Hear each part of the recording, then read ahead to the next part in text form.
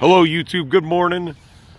Well, time for a video about these red light traffic cameras once again. And time to call out a few people on this. Uh, recently, they've been turned back on in the last few months after the state ruling in the Ohio Supreme Court that said home rule supersedes state law. And you know, also the NAACP the Dayton NAACP. I'm not sure about other NAACP chapters across other parts of the state, but they said these cameras are prejudicial and they are predatory towards minorities and poor people. I can't disagree with them at all. The local NAACP, they're completely right when they said that these are prejudicial and they're predatory towards poor people. Look at the communities that these are all located in. We're in Trotwood, Ohio, just outside of Dayton, Ohio. And what does Dayton and Trotwood have in common with each other? Well, both are messed up economically. Both are high crime, are high crime areas. My point being is, why is it that you only see these stupid cameras in communities that are messed up? I mean, all, all, the communities I know they're in in Southwest Ohio, Dayton, Cincinnati, Middletown, Hamilton, Springfield, Dayton, Trotwood, what do they all have in common? High crime, high proportions, high proportions of minorities and poor people combined. So the NAACP, they're completely right on this. But the thing that I would like to see the NAACP start going after, start going after the politicians that support this stuff and your local police chiefs that support this shit. Like the other day, uh, the uh, police chief of Trotwood said, oh, about these cameras that I'm going to do whatever it takes to protect the citizens of Trotwood. Listen, buddy and people, it's never been about freaking protecting people. It's been about sucking the money from the taxpayers because these cities that have these are all screwed up and they're mismanaged. And because of that, they siphon money out of the taxpayers like that instead of actual created actual jobs and doing the income right. One on the other side too.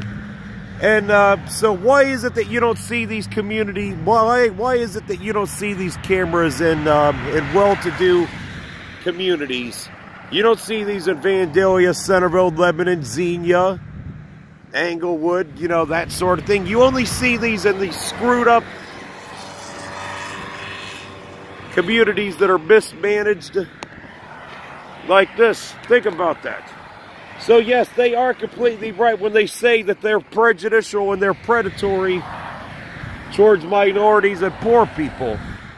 And you know, down in Dayton, they said, "Oh, well, we're gonna well, we're gonna have even more of them down there." They just recently uh, said that they're start they're gonna start issuing warnings on some of the ones they set up. Now down in Dayton, they still have these but they've actually set up ones that are mobile that the police can move around. You know, they're mobile, they're mobile locations that are that are entrapments. So, uh, and the city of Dayton says, "Oh, well, we're gonna put even more of these out." So you tell me that's not predatory towards the towards the residents and the people.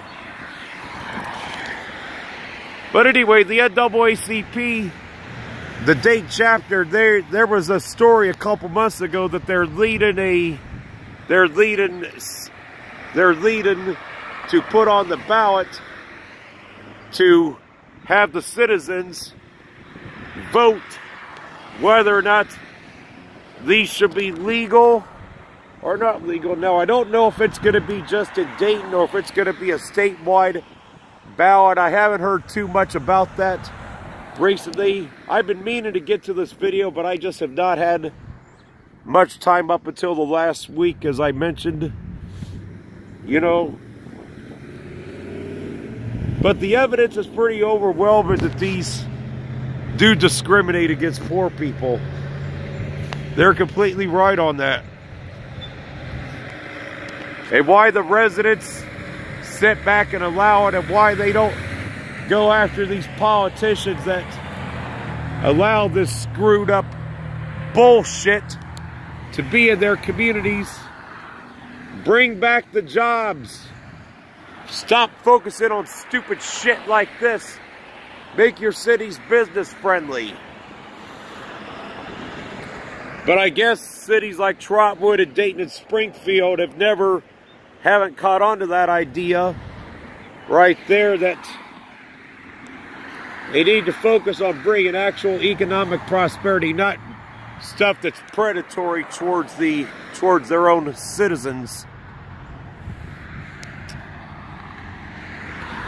But anyway, as soon as I hear more about the ballot issue and uh, whenever it's going to be on the ballot, I'm sure I'll do another video about these again. I've did videos of these a few different times, but it's just a, but all it does is just siphon the money out of the taxpayer and just screwing over the taxpayer people.